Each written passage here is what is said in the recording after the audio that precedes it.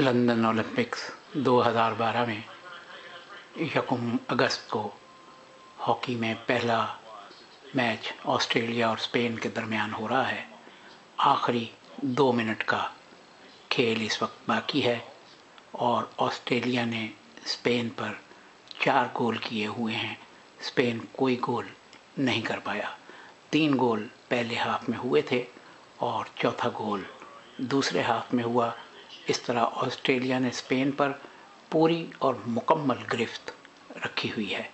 Spain ने पहला match Pakistan के साथ खेला था, जो बराबर रहा था। अब आज यकुम अगस्त को लंदन ओलंपिक्स में होने वाले हॉकी के इन मुकाबलों में दूसरा मैच पाकिस्तान और अर्जेंटाइन के दरमियान होगा। पाकिस्तान के लिए बहुत ज़रूरी है कि वो इस मैच में बेहतर कारकर्दगी का मुजाहरा करें। तकरीबन एक मिनट और चवालीस सेकंड का खेल बाकी है और जीत हर हालत में इस वक्त ऑस्ट्रेलिया की नज़र आ रही है। ऑस्ट्रेलिया की टीम गुजशत तवील अरसे से हॉकी के मैदान में अपनी बर्तरी को मनवाए हुए है। मैच तकरीबन ख़त्म होने वाला है और ऑस्ट्रेलिया, स्पेन से सिफर के मुकाबले में चार गोल से जीत रहा है। लंदन ओलंपिक्स में हॉकी का एक अहम मैच मैच ख़त्म होने में बस ये तकरीबन डेढ़ मिनट का फासला है।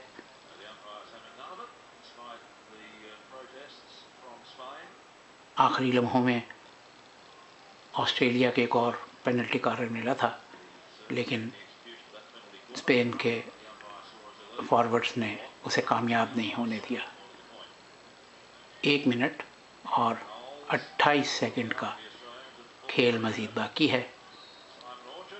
लंदन ओलंपिक्स 2012 हॉकी के मर्दों के फ़ील्ड हॉकी के मुकाबलों में पहला मुकाबला ऑस्ट्रेलिया और स्पेन के दरमियान आखिरी लम्हात में है और ऑस्ट्रेलिया को स्पेन पर चार सिफर की बरतरी हासिल है।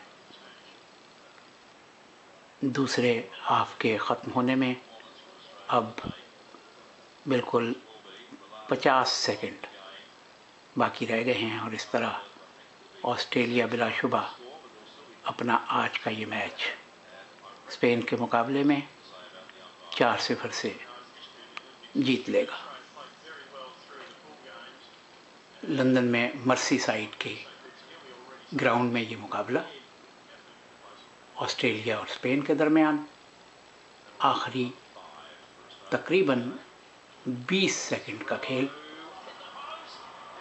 और ऑस्ट्रेलिया ने एक और हमला स्पेन के गोल पे किया। मैच ख़त्म होने से बिल्कुल तकरीबन 20-25 सेकंड पहले ऑस्ट्रेलिया को एक पेनल्टी कॉर्नर मिला और वो पेनल्टी कॉर्नर फ़ौरन ही ऑस्ट्रेलिया ने गोल में कन्वर्ट कर दिया और इस तरह चार सिफर से जीतने वाला मैच ऑस्ट्रेलिया ने स्पेन से पाँच सिफर से जीत लिया है।